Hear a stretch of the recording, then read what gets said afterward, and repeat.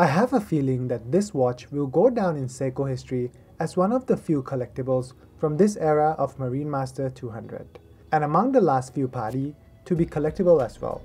The reason being, number 1, the bicolor aluminum Pepsi bezel that will age gracefully, and number 2, the simplicity of the dial.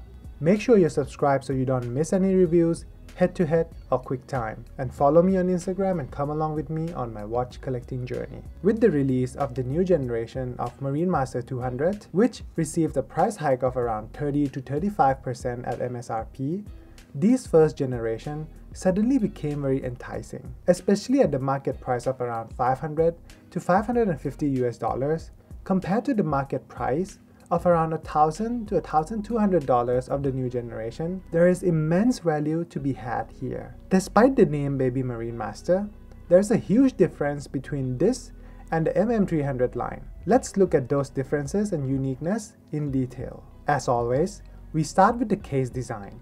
It is clear from first look that this watch is inspired by the design language from past Seikos and the Marine Master 300 line but at a much, much more accessible price point. Therefore, cost has been cut and we cannot reasonably expect the quality to match something that is priced 4 to 5 times more than this. The case finishing on this watch is more similar to what you would find on a cheaper Prospex line, like the Turtle or the Mini Turtle, especially when we look at the brushing which is quite shallow and not as well defined. But when we turn our attention to the polishing, we see a bit of a step up. They're not quite Zaratsu, but they are a step up from the turtle line and looks more mirror-like. The transition between finishes are clean but not sharp. There is no visible bleeding of finishes between surfaces and transition is more rounded than angular, giving this watch a more pleasing and soft look. The case flare out at the midsection and then tuck in nicely and sharply making it sink well into the well of your wrist. And as with any other Prospex designated dive watch, it has a drill lock hole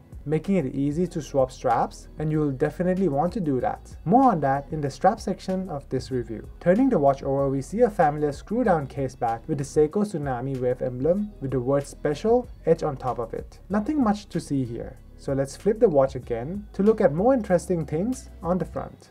The watch has a flat sapphire crystal which is highly high reflective, giving you a clear view onto that dial. One interesting fact about the crystal is that it is done really close to the dial, making the dial appear really really flat. Unlike other dive watches you find in the market, which has a thicker glass and a porthole-like look down onto the dial. The crown here is unsigned, as usual, from Seiko of this era. Threading is quite shallow too, more shallow than I'm used to from other dive watches, making me think that there's some sort of manufacturing defect on it. I'll update in the description if I ever find out. Operating the crown is the usual Seiko affair.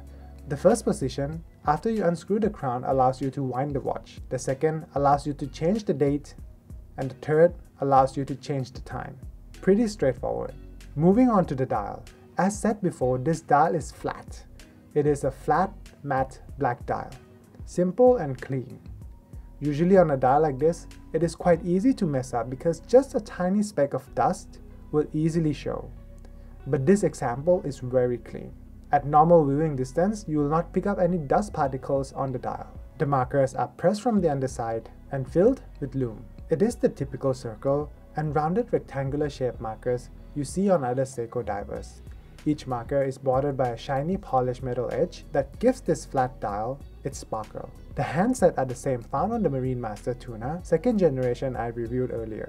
It is a sword and shield kinda handset, with the outer hand resembling a broad arrow shield and the middle hand resembling a sword. So much Pokemon Sword and Shield reference right here. The base of these two hands are matte black like the dial, making it so the hand seems to float on the top of the dial. The second hand is done in red, which matches the bezel, and because it is red, it contrasts nicely with the black dial. It too seems to float on top of the dial because the base of the second hand is black. And at the end of the hand, we find a lollipop style lume fill dot. The printing on this dial is something I feel like touching upon. I've never owned a PADI special edition before and never realized that Seiko would move the Prospex logo up to be under the Seiko logo, and in its place, we would find the PADI logo, which sits proudly above the Automatic and Diver 200 text. For this generation of Marine Master 200, Seiko also went so far as to border the date window with crisp white printing that brings back symmetry to the dial. Moving on to the lume, Seiko applied two distinct color of lume on this watch, blue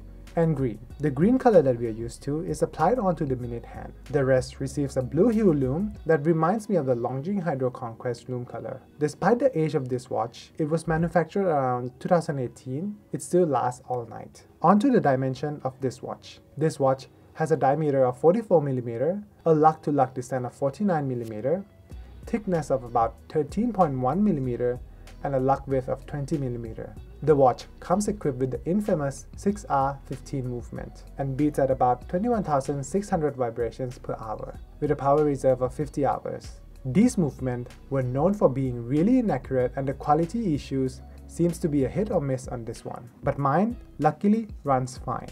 Well enough that I do not have to reset the watch after a week of wear. They were upgraded to the 6R35 found in the Alpinist line. Review here. Let's move on from the infamous stuff to the famous stuff, the bezel. It is done in Pepsi style color scheme. I now understand the appeal it has. The fiery red next to the cool blue presents a beautiful juxtaposition in design that is timeless in nature.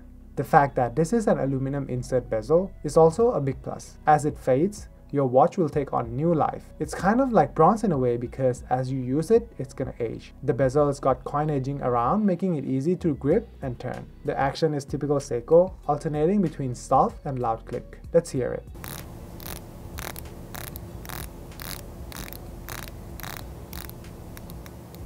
The bezel on the sample lines up perfectly with the hash marks and there is no backplay. Next up, the strap. It comes with a Marine Master 300 style rubber strap which has the same perforation on the underside. But the whole thing is definitely made out of cheaper material because it is a lint magnet. So just throw it away and switch to this cheap Tropic FKM strap you can find on AliExpress and that's the end of the story. On the wrist, this watch is very compact and comfortable. Everything feels well proportioned as a watch should be. I see myself getting a third-party bracelet for it in the near future, probably from Strapcode. That should enhance the wearing experience by quite a bit. One gripe I have about this watch is the freakishly large gap on the underside of where the crown meets the case. Here is me hoping that this is not just specific to my example. I hate dealing with returns and exchanges. Overall, I cannot wait for the bezel on this watch to age and the dial to fade. And that motivates me to go ahead and wear it as often as possible. I can't wait to see what Seiko does with the new versions of Padi. I hope they don't overdo it and keep it subtle like this one. But be warned, I would not pay more than 600 USD for it. So if you find it cheaper than that, then grab one before it's gone. Stay tuned for my next video and don't forget to like, subscribe and share this review with your friends. Follow me on Instagram and see you next time. Peace.